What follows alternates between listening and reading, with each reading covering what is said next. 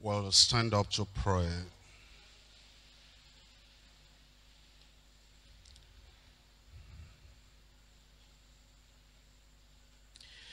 Heavenly Father, we bless your name because of the Bible story today. Thank you, Lord, for the purpose of gathering us together.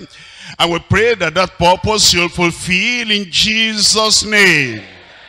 That will not be people that are always learning but never able to come to the knowledge of the truth. But that, Lord, you bring our heart, our minds, our will, everything within us into the knowledge of your truth in Jesus' name.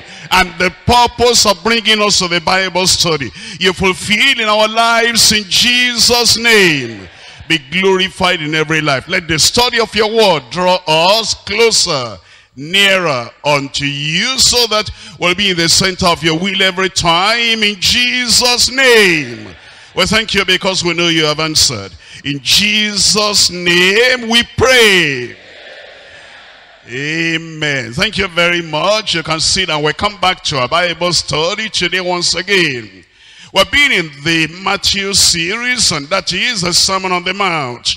We've been looking at Matthew chapter 5, chapter 6, and very soon we'll be going to chapter 7. But today we're still in Matthew chapter 6. In Matthew chapter 6, we're looking at an important part of Scripture. Look at your Bible, Matthew chapter 6. We're looking at verses 22 and 23. Matthew chapter 6, verse 22. The light of the body is the eye.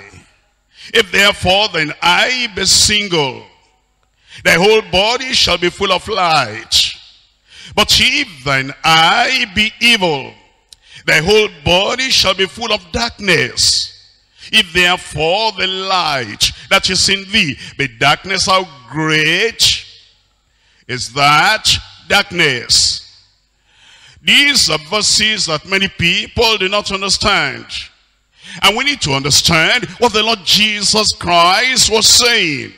Before I go into the thorough explanation, exposition of those verses, we want to ask ourselves, why do we have the Word of God? Why do we read the Word of God? Why do we study the Word of God? Why do we endeavor to know the Word of God? Why do we try to interpret and apply the Word of God? For what reason do we come to the Bible study?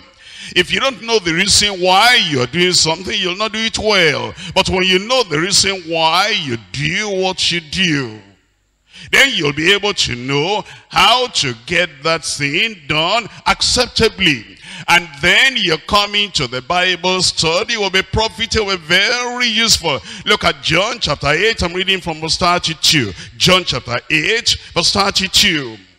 And you shall know the truth, and the truth shall make you free.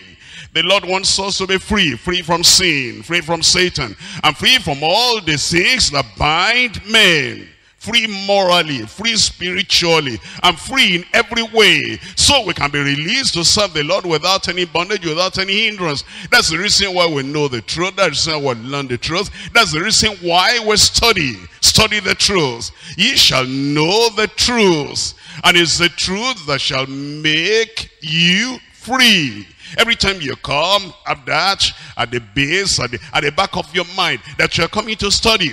And you're coming to study so that the truths that you hear, the truths that you learn, the truths that you know, and the truths that you apply, the truth that you pray on, will make you free. We're looking at Colossians chapter 1. In Colossians chapter 1, I'm reading from verse 28 whom we preach, warning every man, and teaching every man in all wisdom. The preacher should, and the teacher should, endeavor to teach in wisdom. Not the wisdom of the world, but the wisdom of the Spirit of God. And the reason why the teacher endeavors to do that, why the learners also, why they listen. Look at this, it says when we're preaching, eh, warning every man and teaching every man in all wisdom that we may present every man perfect in Christ Jesus. That's the purpose of study. When you come to the study, you want to discover the inconsistencies of your life, the frailties of your life, the infirmities of your life, the imperfections of your life, and then that the study, the learning of the word of God will present you perfect before the Lord. In Ephesians chapter 4, I'm reading from verse 11. Ephesians chapter 4. The reason why we study the Bible, we study the word of God. Ephesians chapter 4 verse 11. And he gave some apostles and some prophets and some evangelists and some pastors and teachers. Was he giving us all these ministries? Was he giving us the teachers of the word? The pastors that lead us, that shepherd us, that guide us. It tells us in verse 12, for the perfecting of the saints. Number one is to turn sinners to become saints.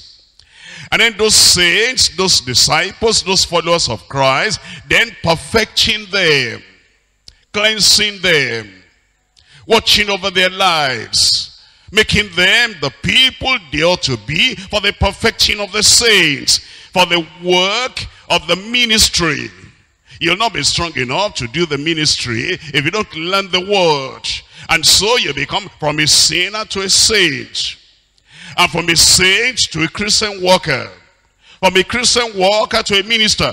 And you go through all those processes because of the learning of the word. And then it says, for the edifying of the body of Christ. Why, do we learn the scriptures? To edify, to build up the body of Christ till we all come in the unity of the faith is to bring those who are far away near those who are very near bring them to the center. And it says all the saints then they come to the unity of the faith to the knowledge of the son of God. And then it says unto the perfect man unto the measure of the stature of the fullness of Christ. In verse 14 that henceforth will be no more children tossed to and fro. That's why we study, to become solid and stable and steadfast. That you are not like somebody on the waves in the oceans of the world, tossed here and there, not knowing what to believe, not knowing what to stand on. But then you study the word, and it says in that verse 14, that henceforth be no more children, childish people, ignorant people, tossed to and fro, and carried about by every wind of doctrine, by the sleight of men, and cunning craftiness whereby they lie in wait to deceive. Second Timothy chapter 2. I'm reading from verse 15. Second Timothy chapter 2, verse 15. Study to show thyself approved unto God. Why do we come to the Bible today? What do we learn? Why do we take all this diligence to go verse after verse and then we study the word of God in a very diligent and systematic way. It says so that you can be approved unto God so that your life inside out your life within and without your life in the private, your life in the public, your life in the church, and your life in the community will be approved of God. Study to show thyself approved unto God. A workman that needeth not to be ashamed, rightly dividing the word of truth. So that you yourself will come to the position, to the situation.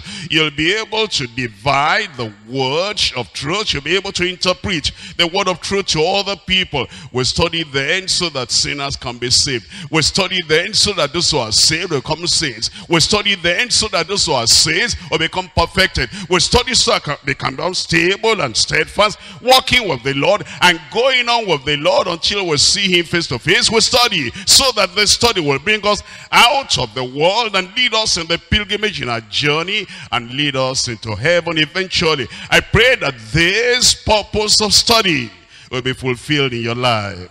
We're coming back to Matthew chapter 6. Now we come to this Matthew chapter 6. This is a parable within the Sermon on the Mount. You see that Jesus used figures of speech and he used metaphors. He used illustration. That's why we call it a parable. See the parable, see the metaphor, see the figures of speech that he used. The light of the body is the eye. It's looking at the body. And then he's looking at the eyes. He's looking at the whole body. And then he's saying, you know, the light to the whole body. is the eye. You understand that? If you closed your eyes and your eyes are not functioning, there's no light. And therefore the body cannot function. The legs cannot move. The energy is there. The bones are there. But the legs cannot go anywhere because you cannot see. If you close your eyes and there is no light, the hands cannot work. The hands cannot do this and that. If you close your eyes, you cannot drive your car. And so, the light of the body and the things that make the body to function. The body to do what it ought to do is the eye. To read, you need your eyes. To, to do any work, any profession you have, to be able to do that work, no matter what you know, you need your eyes, you need the light of the eyes, so that that will give light to all your body and to all the members of the body. Then you'll be able to set yourself in motion in the right direction. That's what the Lord is saying. And then it says, if therefore thine eye be single. That's an old English word for sound, healthy, wholesome. If your eye be wholesome, if your eye be sound, if your eye be in good health, that's what he's saying, then he says, your whole body will be full of light. Your whole body will be full of light. There'll be light for the hands to work, and the light for the legs to move, and the light for every part of the body to function well. That's what he's saying. But he says, but if thine eye be evil, that means it's not sound it does not see well. It's dim. It's darkened. It's diseased. It says, if your eye be evil, and therefore it's dim or darkened or diseased and it's not seeing well, then your whole body will be full of darkness. It says it doesn't matter the intelligence you have if you don't have eyes to see. You'll not be able to use that intelligence well. It doesn't matter the learning you have, the ability you have, the capabilities you have. If you don't have eyes to see, it says, then your whole body will be full of darkness and the members of the body will not be able to function well. If therefore the light that is in thee, if therefore the light that is in thee, and those the light is only through the eyes. And if those eyes, if they are darkened and dimmed, and if there is no light in them, if therefore the light that is in thee be darkened, how great is that darkness. It's like you're walking in the night without any light. How much can you do? It's like you're moving through this life and the, pitfall, the pitfalls are there and the rocks are there and all the ditches are there. The difficulties are there. The dangers are there. And you don't have any light to see. He said, how great is that darkness? It kind of paralyzes you. It immobilizes you. You cannot do anything because of the darkness that you have. That's what the Lord is saying.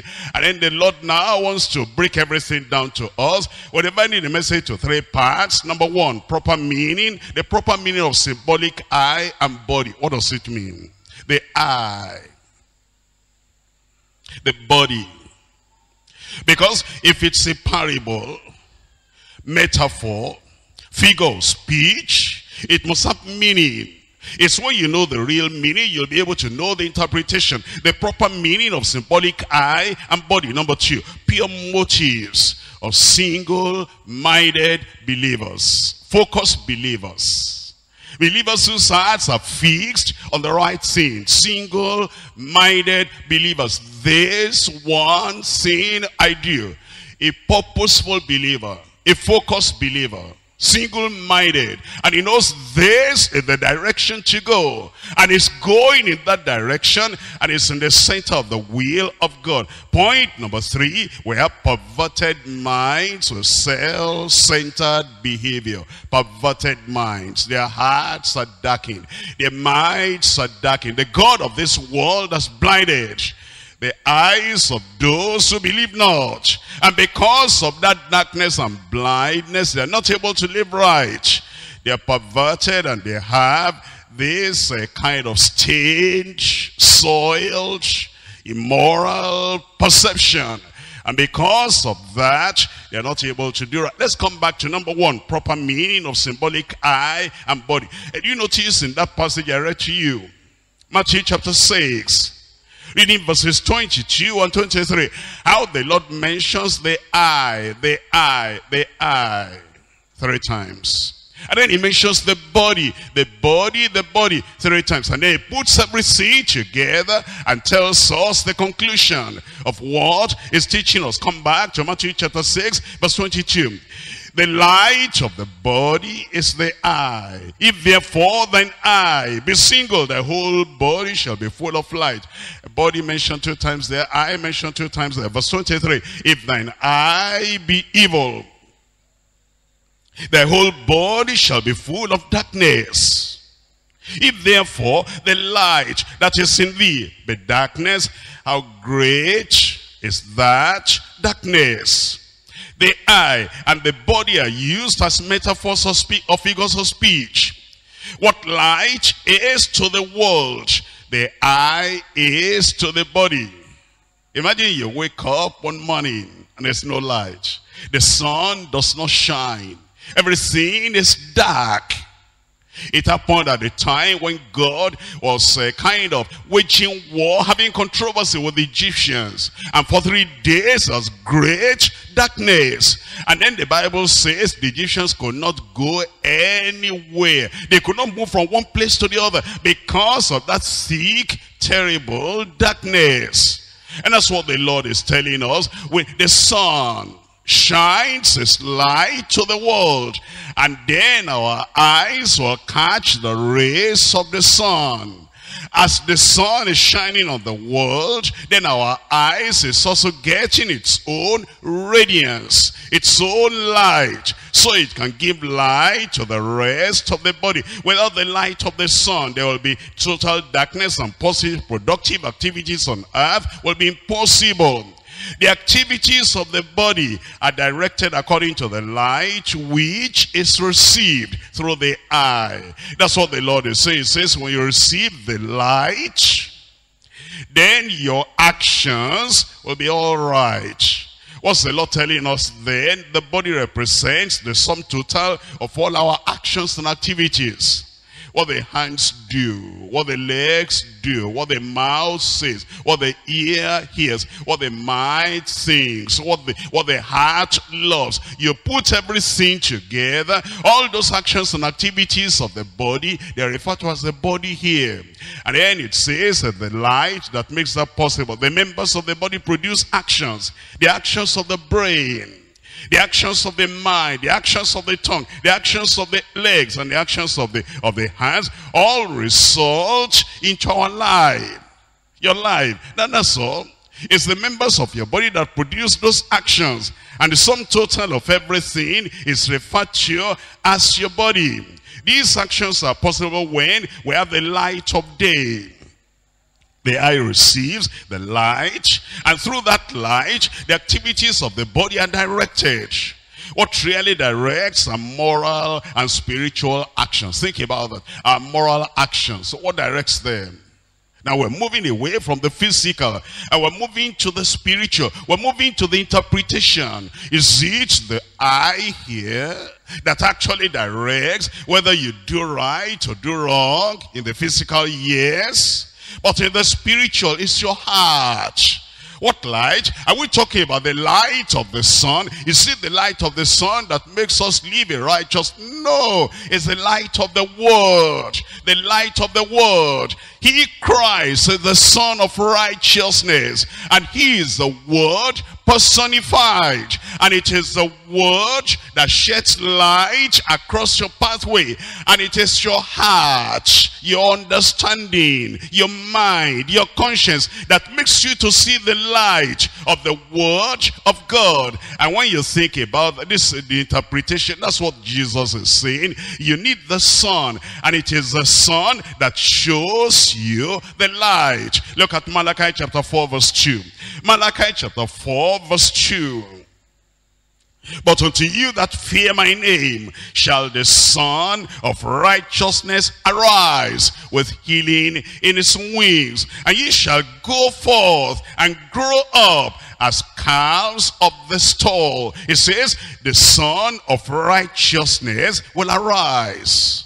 And then he tells us, because of that sun of righteousness, giving us the light, then you're able to go forth in the presence of the Lord. Look at uh, Psalm 119, Psalm 119, and see the light we're talking about now, the application. In Psalm 119, we're reading from one, uh, verse 105. Your, thy word is a lamp unto my feet and a light unto my path. That, that's it. That's it. You have the word of God and it sheds light. What makes you to understand that word of God is your heart your understanding. That's why the Bible, the Bible puts everything together in Ephesians chapter 1. Ephesians chapter 1, let's look at verse 18. Ephesians chapter 1 verse 18. That the eyes of your understanding being enlightened. You see that the eyes of your understanding. The sun of righteousness is shining. He is the word personified. And then the word of God, the reaching word is shared abroad and then you see the light of the word. It's the word of God that makes you to know this is the way to go. Walk ye therein. This is the way to live. Live like that. This is the way to please God. It's the word of God that gives you light in those areas. And it's your heart that gets the understanding. Now I know. Yes, I see.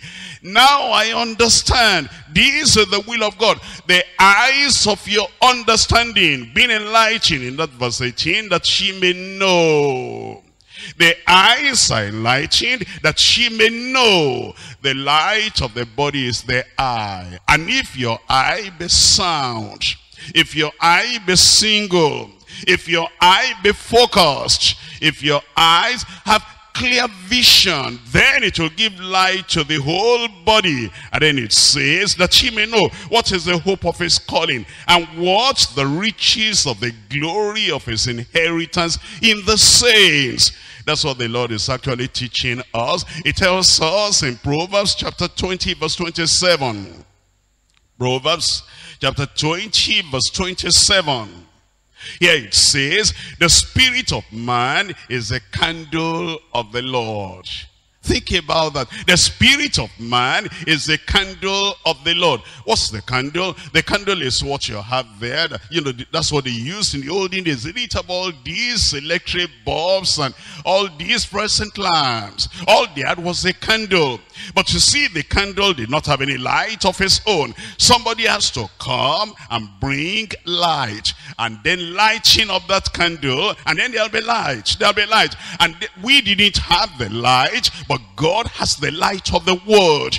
And we, in our spirit, in our heart. It is our heart, it is our mind, it is our spirit that is a candle of the Lord. And in that verse 27, searching all the inward parts of the belly. Can you see that? The light, the word that he gives us. And he makes us to understand that in our heart. In our heart. And that's why it's telling us when it says the light of the body is the eye. That means the body now, all our actions, all our activities, our behavior, our moral leanings, Everything we do dictated by what our heart understands. The eye of your understanding enlightened. It tells us in Psalm 19, Psalm 19, let's look at verse 8. Psalm 19, we're looking at verse 8. The statutes of the Lord are right, rejoicing the heart. The commandments of the Lord is pure, enlightening the eyes. The commandments of the Lord pure. And those commandments of the Lord enlightening the eyes. That's the eye of our understanding. When you read the word of God, it gives you wisdom gives you understanding. And then you know this is the thing to do and this is the way to go. That's why when we preach the word, I didn't know that before. Now I know. That's your eye of understanding being enlightened. I didn't see that before. Now I see the eye of your understanding being enlightened. For that's the ministry of the preacher of the word. In Acts of the Apostles chapter 26, Acts chapter 26, we're looking at verse 17 and verse 18. Delivering thee from the people and from the Gentiles, unto whom now I send thee to open their eyes. To open their eyes. Those Gentiles, they're in darkness. They do not have the truths of the gospel. They do not have the word of the Lord. But I'm sending you to them so that you can open their eyes. To open their eyes and to turn them from darkness to light. And from the power of Satan unto God. And that they may receive forgiveness of sins and inheritance among them which are sanctified by faith that is in me. Let's look at uh, Acts chapter 28 from verse 25. Acts 28 verse 25 and when they agreed not among themselves they departed after that Paul had spoken one word. Well, spake the Holy Ghost by Isaiah the prophet unto, the, unto our fathers, saying, Go unto these people and say, Hearing ye shall hear, and shall not understand. And seeing ye shall see and not perceive. For the heart of these people is waxed gross. He said, you will hear but not understand. You will see, you will not perceive. Then it brings everything to the heart. They hear, they see, but they don't understand. Then it says, that's because the heart of these people is wax gross, and their ears are dull of hearing, and their eyes they have closed. That's the darkness. Their eyes, they have closed. So the word of God does not penetrate into the heart. And then it says, lest they should see with their eyes and hear with their ears and understand with their heart and should be converted and I shall heal them. The Lord then is talking to us about the condition of the heart, the condition of the understanding, the condition of the affection in the heart the intention in the heart. The motive that you have in your heart, in your life. It is that heart or the affection, that mind or the will, and that spirit inside was the motive, the intention, the goal, the desires. If those things are pure, your mind is pure, your heart is pure, your spirit is pure, your understanding is enlightened, your conscience is cleansed, and your affection is centered on only the will of God and the mind of God then your whole body will be full of light and everything you do will be acceptable in the sight of the Lord. And that's what the Lord is telling us. Thine eye shall be single. The word single, he have told you, it means sound, wholesome, healthy. The single eye, the sound eye. It refers to purity of intention, selflessness in our motives with purity of motive and affection. Our actions or the body, of our activities will be full of light, with, with selfishness in our motive, and insincerity in our intention. We are termed to have an evil eye, and our actions will be the works of darkness. It's talking about how many pure conscience. Let's look at Acts of the Apostles chapter 24. Acts chapter 24, reading verse 16, and herein do I exercise myself to have always a conscience void of offense toward God and man. Herein do I exercise myself to have a conscience void of offense. You understand? The word of God is opened. The word of God is read. And the word of God is revealed. That enlightens your conscience and points out this is right or that is wrong. With the understanding of the conscience and with the understanding of your spirit and your mind, you are able to determine this is the right way. And then with the grace you now have from the sight of the Lord, you're able to walk in the right direction. We come to point number two. Point number two is talking about pure motives of single-minded believers, pure motives of single-minded believers. We're looking at Matthew chapter 6. Matthew chapter 6, we're reading from verse 22 again. Already we have got the meaning, the interpretation of the eye. The meaning and the interpretation of the body. The sum total of all our actions. And now we're going to see the application having pure motives, proper intention, clear, holy desires. And with those motives, intentions, desires, because the desire, the inward man, the spirit, the heart, is well in the grace of God, saved, sanctified, having an intention, a motive that is according to the will, the word of God. Now, we're able to behave the way believers ought to behave. Matthew chapter 6, verse 22. The light of the body is the eye. If therefore then I be single, sound, wholesome, healthy, thy body shall be full of light. And look at that same passage in Luke chapter 11. Luke chapter 11, we're looking at verse 34. Luke chapter 11, verse 34. The light of the body is the eye. Therefore, when thine eye is single, the same word, when thine eye is wholesome, when thine eye is sound, when thine eye is healthy, when thine eye is clear, 2020 vision, bright eyesight.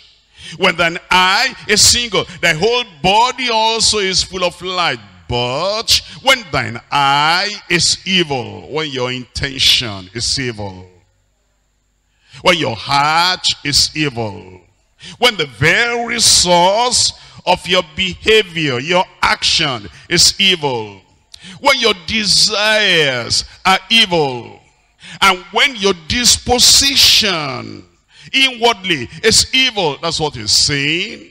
When you do not see well, and you cannot see the glory of God, and you're like a blind man, blind in the heart. It says, when your eye is evil, thy body also is full of darkness. Take heed, therefore, that the light which is in thee be not darkness. If thy whole body therefore be full of light, having no part dark.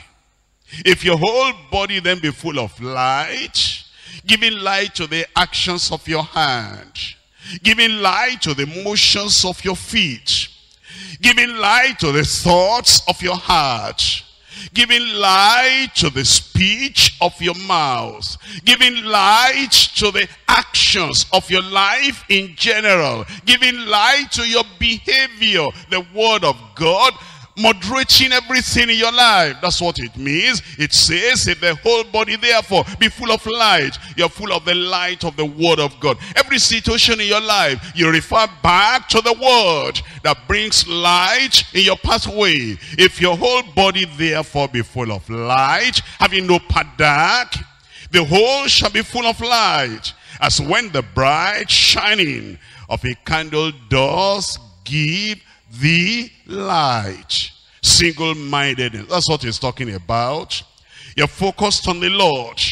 And then it says, it means that when your eyes directed singly and steadily towards an object, and that eye is sound, healthy, everything is clear, everything is plain.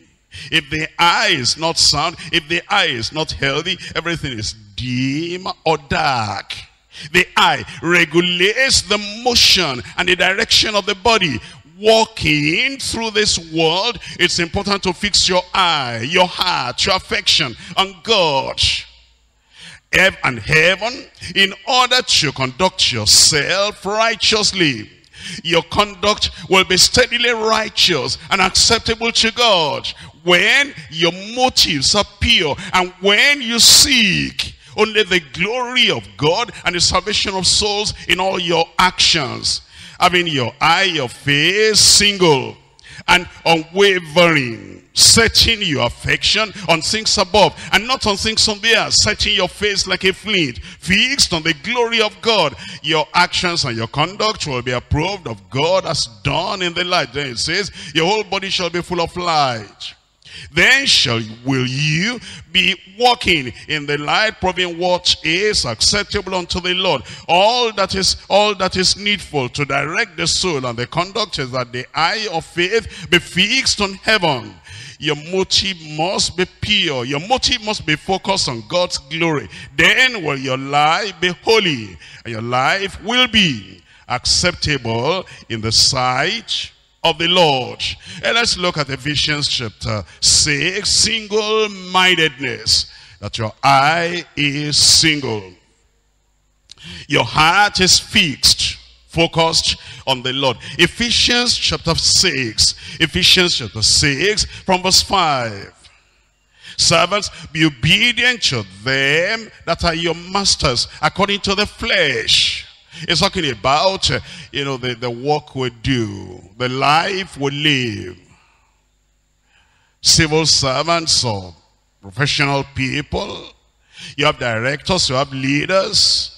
And it says in everything you do, servants, be obedient unto your, unto your masters according to the flesh with fear and tremble and trembling in singleness of heart. That means good intention good purpose, focused on the glory of God alone, as unto Christ. Uh, do you ever think like that in your place of work? Do you ever think like that? Uh, you know, the people that are above you in leadership, in the community, as well as in the church. And then it says that you serve under those leaders as unto Christ. Not with eye service, as men pleasers, but as the servants of Christ, doing the will of God from the heart. Those are single-minded people. Verse 7, with good will, doing service as to the Lord and not unto men. That everything you do, you say, I'm doing this for the Lord. I'm doing this for the glory of God. I seek not mine own glory, but the glory of him that sent me. I receive not honor from men but the honor that cometh from God only. And that's how to live. Then Colossians chapter 3 verse 22. Colossians chapter 3 verse 22, servants obey in all things, obey in all things, obey in all things. You know, if you're a real Christian, you uh, the Bible does not encourage you, does not encourage us to carry placards. When there's a problem in your company, the Bible does not encourage us to join, you know, the civil rights activists. So and so must go. No, we break everything that the Bible does not encourage that. And if you do that, you are sinning against the word of the Lord. We don't do it politically, we don't do it economically, and we don't do it in a kind of diplomatic way. We don't do it in any way because God knows the heart. And in the church, we don't do that. If you're not happy with something, you go to God in prayer. Your mind is on the glory of God. It's on the will of God. And you don't carry any invisible placard. And you don't step up rebellion. Then you don't have a single eye. And you don't instigate other people to riot and to break down the whole temple because you are not happy with something. If you're a real child of God, your heart is focused on the glory of God. Even when it appears you are cheated. Even when it appears, you know, they didn't give you what you think is your right. You take it to the Lord in prayer. Servants obey in all things your masters according to the flesh. Not with eye service as men pleasers, but in singleness of heart. Fearing God. You don't allow money to take over your heart. And that's what happens to the people of the world. Because, you know, the, eh, morning, afternoon, evening, they're only thinking about money. The love of money is the root of all evil, which while some coveted after, they have erred from the faith. And if you ever set your heart on money, becomes the root of all evil. And then you do quite a lot of things and your eye will not be single. Your purpose in life is kind of deformed. And your desires are not unto the Lord alone. Your affection, your heart, your mind is not centered on the Lord only. You're thinking about money above God, above service. And that's not right in our country. Not, don't ever carry any placard with those that they don't understand. Their eyes of understanding are darkened. But we were enlightened. And it says, servants, obey in all things your masters, according to the flesh, not with eye service as men pleasers, but in singleness of heart fearing God. And whatsoever ye do, do it heartily, wholeheartedly not, you know, eh, not in a moody way, you know, in a way that it doesn't communicate any service at all. You do it joyfully, enthusiastically, heartily, with all your heart. That's a single-minded believer. His focus, his attention, his desire is only to please the Lord, not to please himself. It says, and whatsoever ye do, do it heartily, as to the Lord, not unto men, knowing that of the Lord ye shall receive the reward of the inheritance, for ye serve the Lord Christ. I pray God will help us. Give me an headquarters, amen. In Acts of the Apostles chapter 2, singleness of mind. Acts chapter 2, verse 46. And they continue, they continue steadfastly, daily, continuing daily with one accord in the temple, breaking bread from house to house, did each their meat with gladness and singleness of heart. With gladness and singleness of heart. They were happy with whatever portion came to them. No complaint, no murmuring, no tearing down of anything, no destruction of the system, no breaking down of the temple of God because you know I'm not happy, he is not happy. Why did they give me this? Why did he give me that? No. Was singleness of mind. That's how they did it, singleness of heart. It tells us in First Corinthians chapter 10. First Corinthians chapter 10, I'm reading from verse 31. Whether therefore ye eat or drink. See how the Bible is downright to the to the very bottom, to the very minimal sin. Even the eating and the drinking, whether therefore ye eat or drink, or whatsoever ye do, anytime, anywhere. It says, do all to the glory of God. You are not seeking your own exaltation. You're not seeking your own satisfaction. You're not seeking your own convenience. You're seeking the glory of God. That's having a single eye, single eye. Your mind, your eye, your intention, your affection is focused on the Lord alone. Whether I'm happy or not happy, that doesn't, that's not the, that's not the point. The point is, is God happy? Is the work of God being done? Is the glory of God being revealed? Are souls being brought into the kingdom of God? And is the gospel spreading? Is Christ being exalted? If that's the case, then that's all right. That's all right. Your, your happiness, your satisfaction is not the matter. It's not the important thing. That you do everything to the glory, to the exaltation, to the honor of the Lord. Give none offense, neither to the Jew, nor to the Gentile, nor to the church of God even as I please all men in all things, not seeking my own profit. Not seeking my own profit. No competition, not seeking my own profit. And uh, there's nothing, there's nothing like, they didn't take me into consideration. If they didn't take me into, then everything is going to crumble.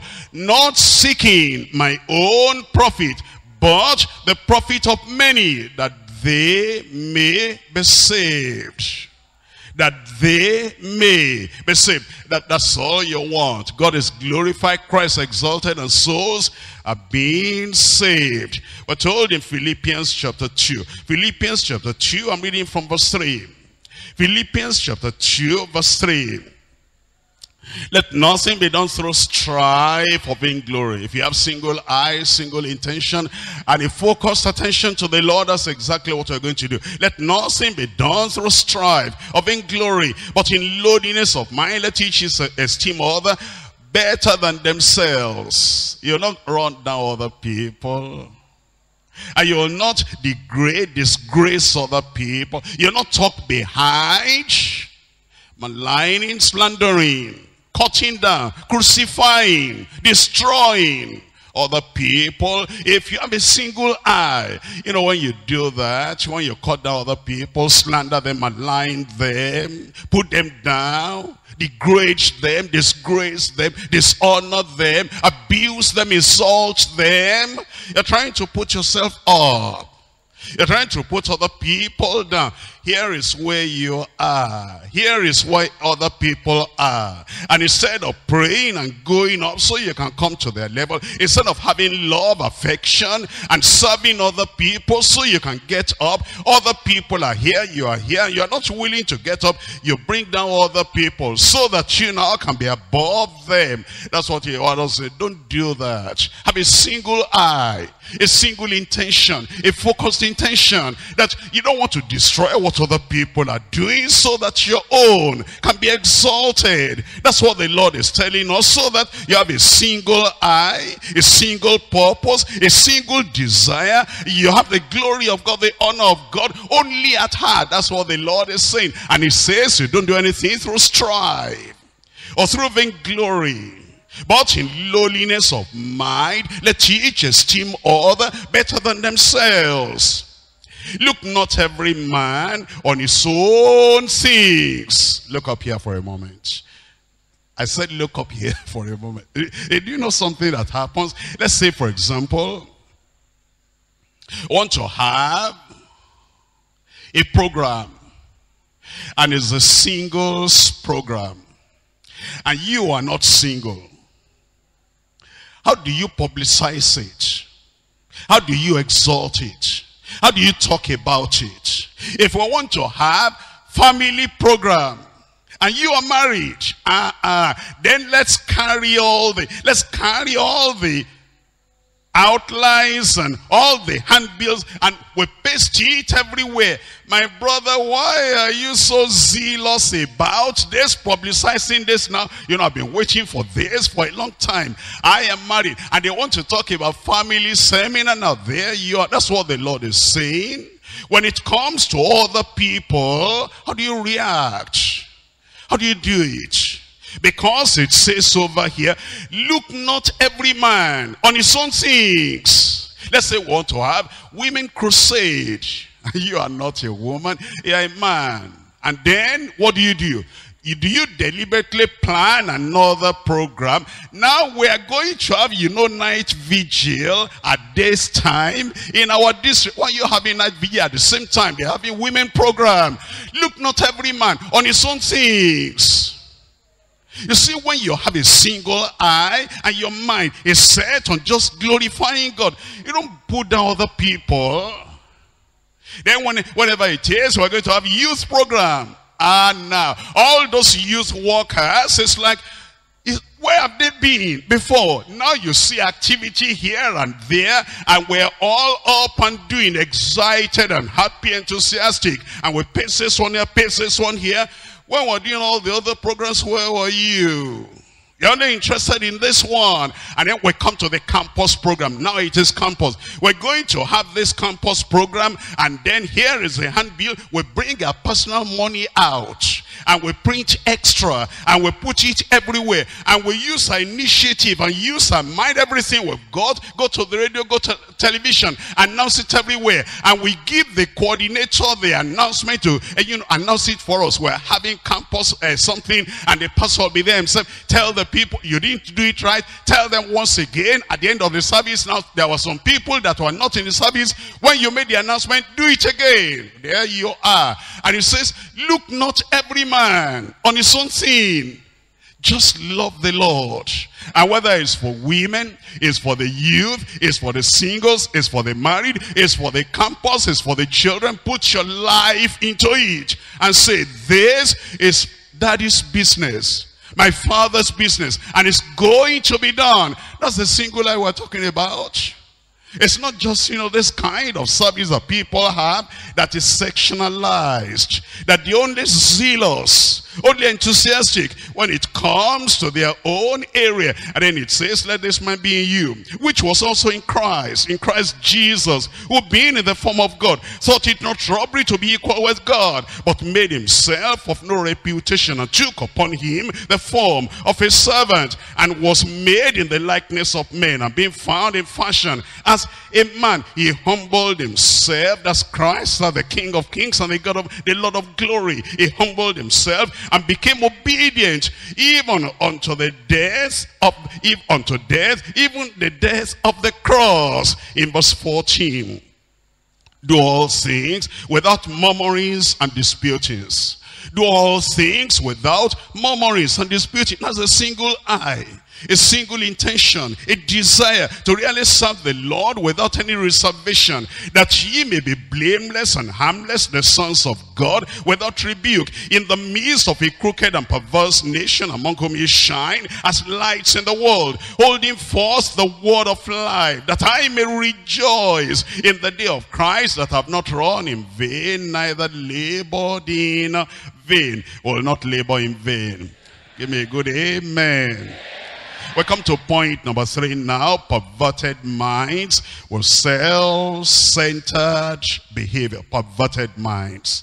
Perverted minds with self-centered behavior. Let's come back to Matthew chapter 6. We're now in verse 23. Matthew chapter 6. We're looking at verse 23. But if thine eye be evil, but if thine eye be evil, Thy whole body shall be full of darkness. If your eye be dim, or diseased, or darkened, or unhealthy, if your eye be evil, thy whole body shall be full of darkness. If therefore the light that is in thee be darkness, how great is that darkness? When it says the evil eye, what does that mean? The evil eye. The evil eye. Let's look at it. It's talking about something moral, by the way. Something spiritual. Deuteronomy chapter 15. Deuteronomy chapter 15. I'm reading from verse 9. Beware that there be not a thought in thy wicked heart, saying, the seventh year, the year of release is at hand, and thine eye be evil. That's evil eye. And thine eye be evil against thy poor brother, and thou givest him not. That's the evil eye. Selfishness, that's the evil eye. Self-centeredness, that's the evil eye. Only thinking about yourself and not being considerate about your poor brother to give him something that he needs. That's the evil eye. And then it says, and he cry unto the Lord against thee, and it be seen unto thee Let's look at Proverbs chapter 23. Proverbs chapter 23, we're looking at it from verse 6. The evil eye. And this is talking about, uh, about insincerity. Uh, look, if, if you are insincere, then the Lord says you have an evil eye. Look at it in Proverbs chapter 23 verse 6. Eat thou not the bread of him that has an evil eye. Eat not the bread of him that has an evil eye. How do I know that he has an evil eye? A look at it. I Go on. It says, Neither desire thou his dainty meat. For a man thinketh in his heart. So you see, is the condition of his heart. That's why we know he has an evil eye. Eat and drink, saith he to thee, but his heart is not with thee. That's an evil-eyed man. He's insincere. Oh, he says, welcome. How I love you very, I've been waiting for you. And you came at the right, come on now, let us eat together. And his heart is not with you. It doesn't mean you should eat with him. It's just teasing you. It's just pushing you forward. It's just watching, uh, you know, the poor man, the hungry man. Let me see whether it's really going to. It's not sincere. That's an evil eye. Somebody who smiles, but has hatred in the heart. Somebody who embraces you, but has malice. And somebody who kisses you, like, like the kiss of Judas, but is betraying you. And somebody who tries to be friendly in the open, but then is deadly in the back. That's an evil eye. It's insincere. That's why it says in verse 8, the muscle that thou hast eaten, thou shalt vomit up and lose thy sweet words. All the sweet, sweet words they say, they are not sincere. Then we come to chapter 26. Proverbs chapter 26, verse 25. When he speaketh fear, believe him not.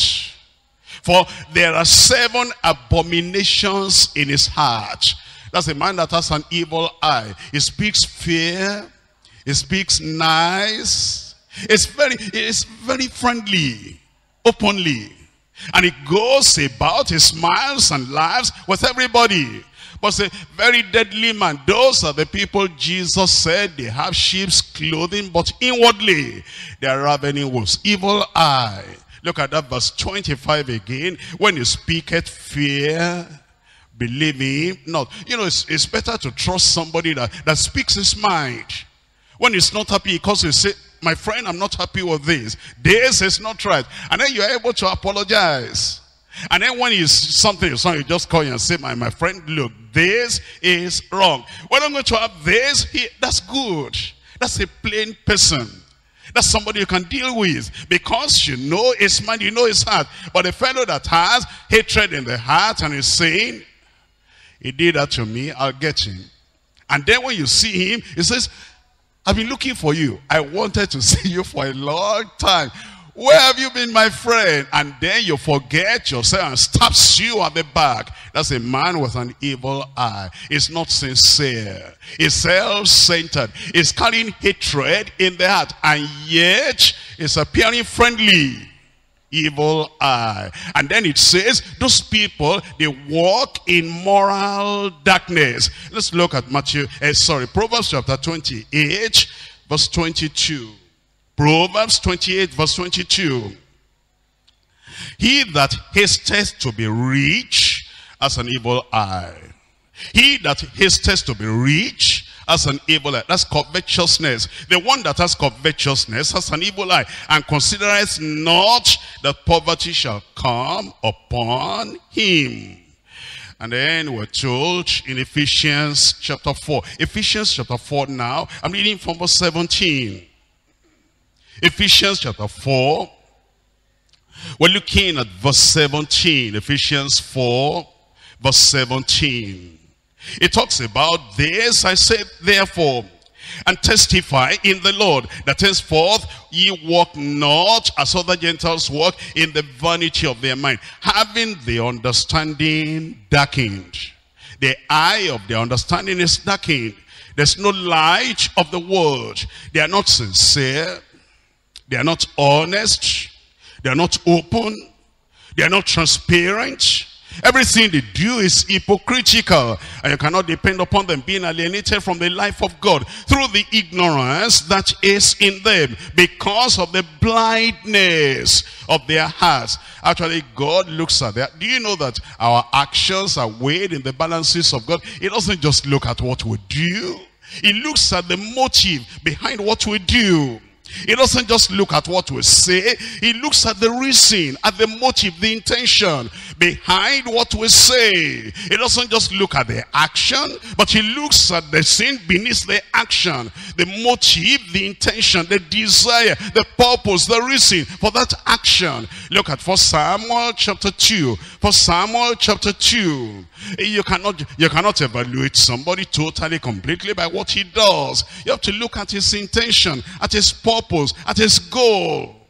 You, you look at 1 Samuel chapter 2 verse 3. Talk no more exceeding proudly. Let not arrogancy come out of your mouth. For the Lord is a God of knowledge. And by him actions are weighed. By him, actions are weighed. Hey, look up here for a moment. That's why, you know, sometimes you'll find in the word of God. Somebody does something like this.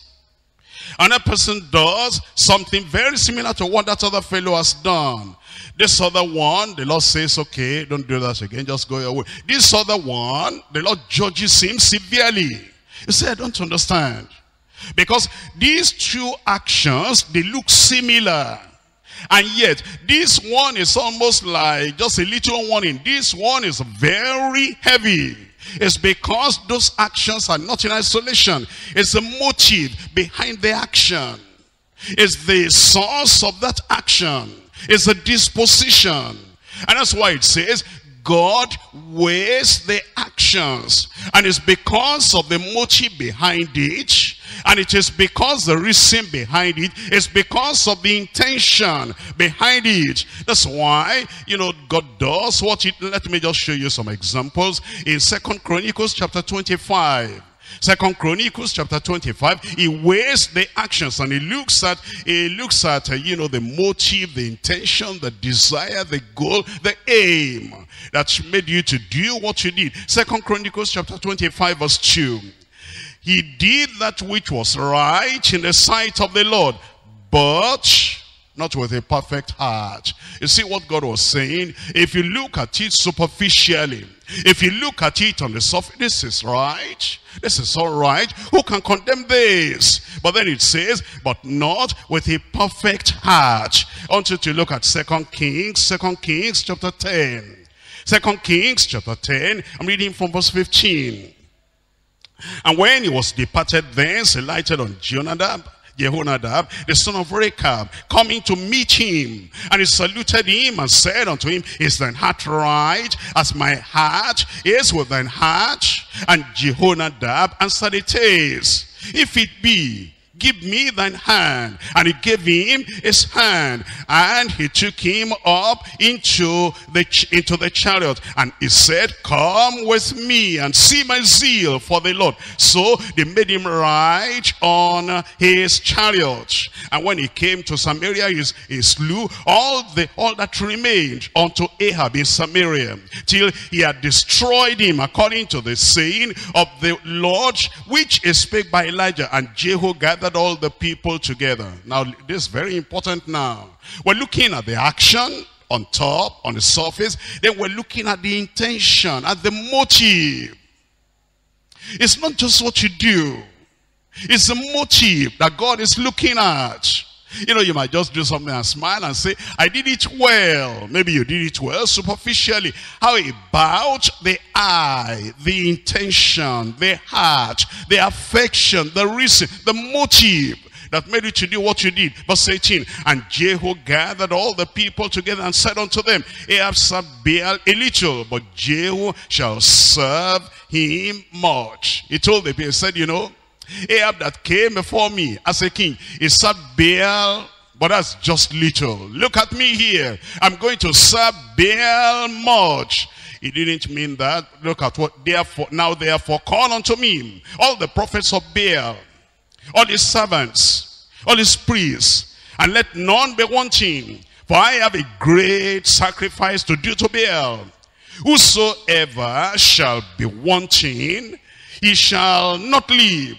But Jehu did it subtly to the intent that he might destroy the worshippers of Baal. You see that? But Elijah also destroyed the worshippers of Baal. Don't you remember? Elijah came before the people and he said, how long halt ye between two opinions? If God be God, serve him. That's direct. And if Baal, serve him. You know, Elijah's method was direct. And then he said, let all the worshippers of Baal come. Give us a bullock. Let them slay their bullock.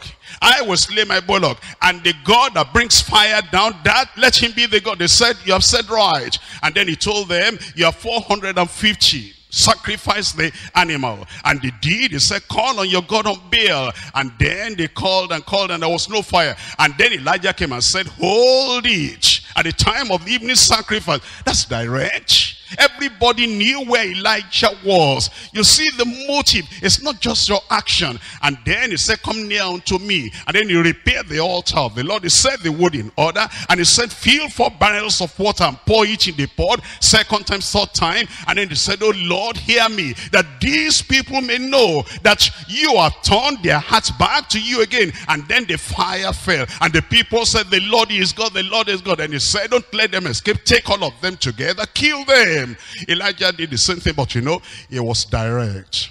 Everybody knew where he was going. Everybody knew his intention. His intention was to destroy the worshippers of Baal. And he called the whole nation and said, this is what I'm doing. But look at Jehu. He wanted to destroy them. Uh, but look at the method. Look at the motive. Look, look at the intention. Look at the way he did it. That's what we're saying. You know, the actions may look similar. Jehu did this, Elijah did this, but look at the thing behind the curtain. And then it goes on now, it says in verse, in verse 20, and Jehu said, proclaim a solemn assembly for Baal. And they proclaimed it, and Jehu sent through all Israel, and all the worshippers of Baal came, so that there was not a man left that came not. And they came into the house of Baal, and the house of Baal was full from one, from one end to another. And he said unto, unto him that was over the vestry, bring forth the vestments for all the worshippers of Baal and he brought them, uh, he brought forth the vestments. And Jehu went and Jonadab, the son of Rechab, into the house of Baal and said to the worshippers of Baal, Search and look that there be not, that, that there be here with you none of the servants of the Lord for the worshippers, but the worshippers of Baal only. And when they went in to offer sacrifices and burnt offerings, Jehu appointed first-come men without and said, If any of the men whom I brought into your hands escape. He that letteth him go, his life shall be for it shall, shall be for the life of him. And it came to pass as soon as he had made an end of offering the burnt offering, Jehu said unto the guard, unto the captains, Go in and slay them, let none come forth. You see that? He killed them. But look at the method. And he didn't know his intention. You don't know the intentions of people. You might say, this is similar to what Elijah did. But look at the method, the motive, the desire. Look at the look at the comment on, Je, on Jehu now in verse 31. But Jehu took no heed to walk in the law of the Lord God of Israel with all his heart. He didn't have a single heart, a sound eye, a healthy eye. You know, it was like this, very diplomatic self-centered, even satanic in that approach. But you know, when you are very sincere, single eye, sound eye, a good intention, a good motive. And people know this is where you are. We know what you believe, we know what you stand for. But somebody you can never tell when he's going to the right, his mind is actually going to the left. It says, Jehu took no heed to walk in the law of the Lord God of Israel with all his heart. For he departed not from the sins of Jeroboam, which made Israel to sin. It's like, look at this in John chapter 12. John chapter 12 we're looking at it from verse 4. John chapter 12 verse 4. Then said one of the disciples, Judas Iscariot, Simon's son, which should betray him. Why was not this ointment sold for 300 pairs and given to the poor? Look at that statement. That's a wonderful statement. Let's sell this ointment. Don't just spoil it away like that. And then we, we, can, we can minister to the poor. Well, these were the price of this ointment. And that's a normal state, a good statement on the surface. But look at the intention. Look at the intention. It's the intention that matters. It's the motive that matters. That's what Jesus is saying. The light of the body is the eye. And if your eye be single, if your intention be right, then your whole body, all your actions will be full of light. But if your eye be evil, if you have a bad intention, a bad motive, and a wrong desire, then your whole body will be full of darkness. And if the light that is in you be darkness, how great is that darkness? Look at Judas Iscariot as if he cared for the poor on the surface. Verse 6, this is said, not that he cared for the poor, but because he was a thief and had the bag and bear what was put therein. Philippians chapter 1. Philippians chapter 1. We're looking at verse 15. Philippians chapter 1, I'm reading from verse 15. Some indeed preach Christ. If you stop there, that's a wonderful thing. Jesus said, go into all the world and preach the gospel to every creature. And Paul, the apostle said, yes, I hear them preaching, but think about their motive. Think about their intention. Some indeed preach Christ, even of envy and strife. Others, some also of goodwill. They won't preach Christ of contention, and, but not sincerely.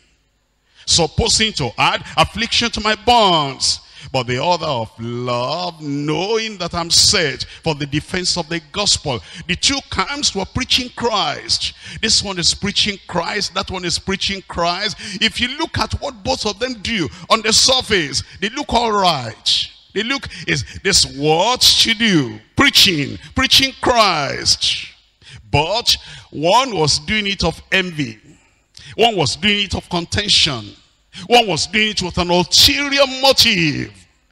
That's what the Lord is saying. If you want to do good, you do it with a good intention, a good heart, a good understanding. And you have a single eye, a purpose that wants the glory and the glory of the Lord alone. But then, you know, you can say, I'm preaching Christ, I'm preaching Christ. What's your intention? What's your purpose for doing what you do? What's your desire?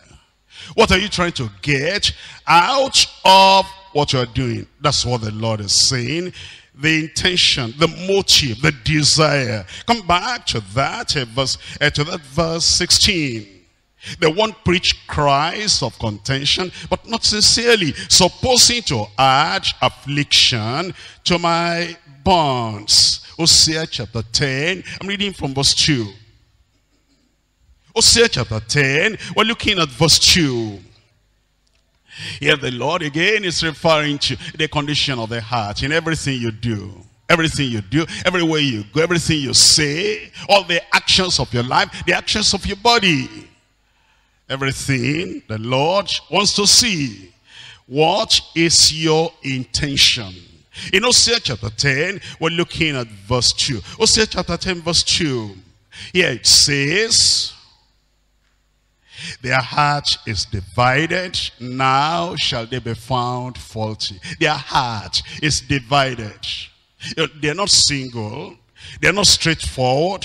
They're not focused. They're not fixed on the glory of God. And it says because their heart is divided, no matter what they do. It will look good on the surface. But it says they'll be found faulty. What do we do now? Oh, what's the conclusion of this whole thing? Come to Psalm 57. Psalm 57. We're looking at it from verse 7. Psalm 57, verse 7. My heart is fixed to God. My heart is fixed. It says, Oh Lord, now I understand, my heart is fixed on your glory, on the exaltation of Christ, on the obedience and fulfillment of your word. No more self, no more personal desire. My heart is fixed to God. My heart is fixed. Psalm 108, Psalm 108. We're looking at verse 1. Oh God, my heart is fixed. Now understand, it's the matter of the heart. It's not just the action. It's not just the motions of the leg, the activities of the hand, or the speech of the mouth, or the hearing of the ear, or the ministry that we do. It's the condition of the heart. Oh God, my heart is fixed. Psalm 112, I'm reading verse 7. Psalm 112 verse 7, he shall not be afraid of evil tidings. His heart is fixed.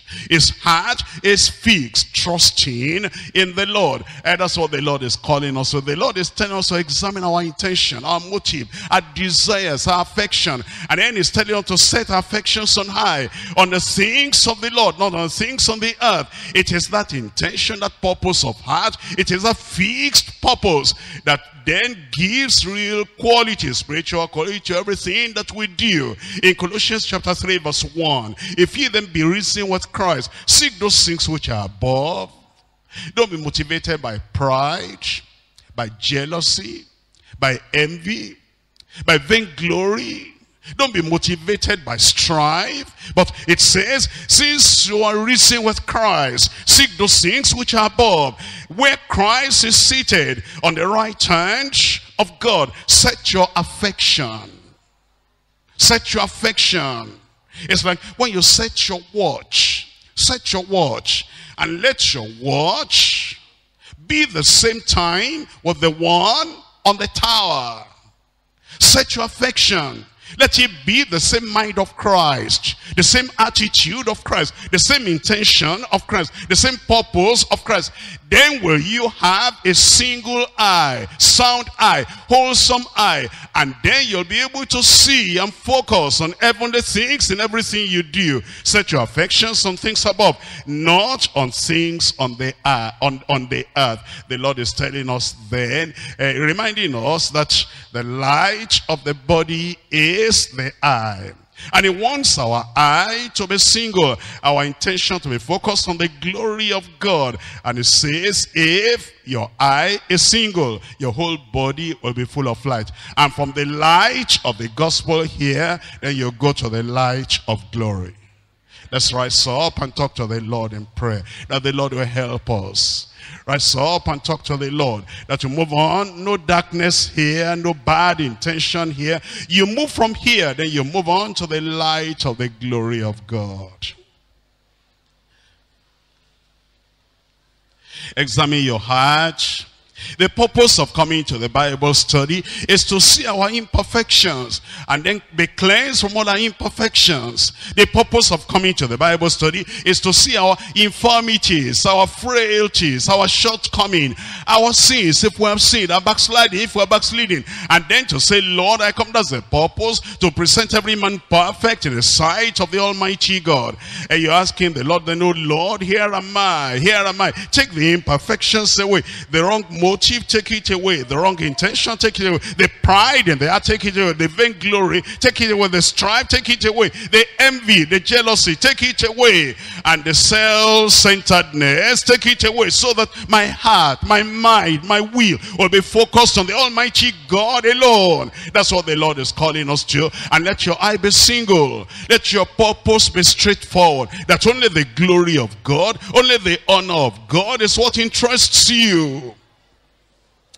If you are backsliding, you tell the Lord, oh Lord, through strife or backsliding, through vainglory or backsliding, and through contention or backsliding, and through fighting or backsliding, and through this covetousness, self-centeredness or backsliding, then you say, Lord, I'm coming back. My heart is fixed now. My heart is fixed on the glory of God. My heart is fixed on wanting to serve the Lord without any wrong intention. All the actions of my life, everything I do, I want you to exalt Christ, to glorify God, and to get souls saved. I don't want to be a hindrance to the souls that ought to get saved. You tell the Lord to give you this pure intention, this pure motive, this right intention, so that your life will be according to the very delight of the Almighty God. You're not looking for personal satisfaction. All you want is satisfaction of the Lord. Only the glory of the Lord, the honor of the Lord, the exaltation of Christ, and not your own glory, not your own exaltation, not your own ex not your own edification alone, but you want, you want, you want the exaltation of Christ in everything you do. Every word you speak, every motion of your feet, every action, every activity of your hands, every speech of your mouth, every interaction of, of your relationship, you want God and God and God alone to be glorified. Why don't you tell the Lord this real Christianity? Otherwise, you might just have this superficial action of Jehu. And it looks like what Elijah did. It looks like you think you're doing the right thing, but the intention is wrong. But the motive is wrong. And, and the method is wrong. And you're not sincerely worshiping the Lord. And the Lord knows your heart by him. Actions are weighed. By him actions are weighed. By him actions are weighed.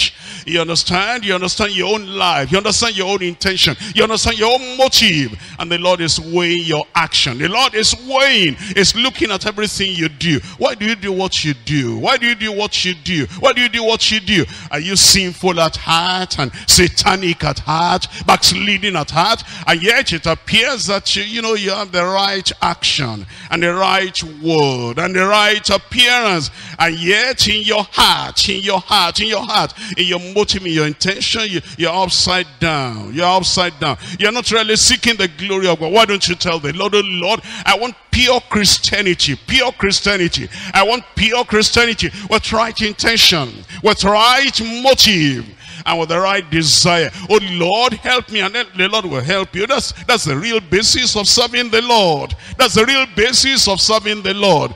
And it is not that, you know, when it's a program that, you know, will kind of help your own area of work. You're all excited and all enthused and, you know, you give everything up. And then when it's a program that, you know, you are not a worker in that area, then you're not interested. And that's not Christianity. That's not Christianity. Whether it is youth program or women program, is to save souls. And whether it is a bachelor's a program or spinster's program, is to make people to know the Lord, is to bring the blessing of God to their lives. If you are a real child of God, you'll not be taking sides. I'm not, you know, you're not contributing to that. You're not having any part in You're even hindering that one because it's not your area. That's not Christianity. That's not Christianity. If you were doing it and your friends were doing it and your group was doing it, ah, you'll all be excited. You'll all be excited. Here, let us go with it. you your sacrifice. But then when it's other people, how do you do? How do you do? How do you act? How do you act? Self-centeredness and selfishness. But you are calling upon the Lord saying, Oh Lord, help me. Let me have real Christianity. Real Christianity. That will not be this a kind of Jehu kind of, of worship. Deceitful, deceitful, not like Judas Iscariot. Why don't we sell this and give the money to the poor? And yet he's only caring about having enough to steal. But you want to serve the Lord with pure purpose, pure intention, pure desire, with a single eye, sound eye, a pure motive, right intention affection in your heart. Loving the Lord your God with all your heart, all your soul, all your mind, and all your strength. And loving your neighbor as yourself. Not this tribal kind of thing, and not this sectional kind of thing. That's not, that's not of God. Are you're not doing what you're doing for the love of money the love of money, slandering other people, cutting down other people, destroying other people, even wanting to break down and to demolish the whole building, wanting to pull down the whole temple because you're not, uh, you're not happy. That's not Christianity. Christianity will say what I'm happy or not. That's not the issue. I want God to be happy. I want God to be exalted. I want Christ to be glorified. And I want him to be honored. That's Christianity. That in your heart, you're not putting yourself first. You're putting God first. God first. If God is honored, that's all I want. God be honored, God be honored. Jesus be honored in everything I do in my life every day. And that's what it means. A single eye. A single eye. A single eye. A pure motive. Serving the Lord without insincerity, without covetousness, without self-centeredness, but serving the Lord with all your heart, all your soul, and all your mind.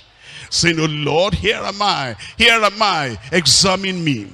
Examine me, search my heart, oh God, and see what's in my heart. If there be any wicked way in me, cleanse me from every, every thought, purify me, and let me go in the right direction. Yes, it can make your heart pure, your intention pure, your motive pure. And then you'll be able to walk in the right direction, saved, free from sin, and free from self-centeredness, free from selfishness, free and free indeed. The spirit of life in Christ Jesus has made me free from the law of sin and death. The sacrifice of Christ. The blood of Jesus Christ cleansing and washing you.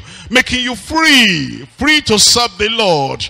Exalting only the glory of the Lord. Not your own glory. You're not seeking exaltation. You're not full of pride. Be clothed with humility, every one of you. And all you want is that God be glorified, souls be saved, the church be edified and the church grow and then you're willing to sacrifice for that They may not mention your name. They may not uh, put you in a special place. They may not give you special recognition. But you want the name of the Lord to be glorified and sinners to be saved. And the believers to grow in grace. A single eye. A single eye. A pure motive. Right intention. Good desires that you live for God and for God alone in your life. You forget yourself. You allow Jesus to sit on the throne as the King of Kings and the Lord of Lords. And then you, you are the submissive, humble servant of the Lord.